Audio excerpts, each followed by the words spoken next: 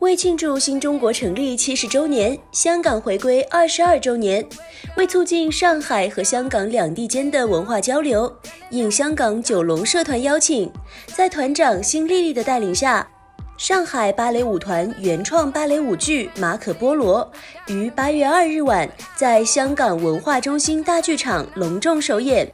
现场，上巴首席演员吴虎生饰演男主角马可波罗，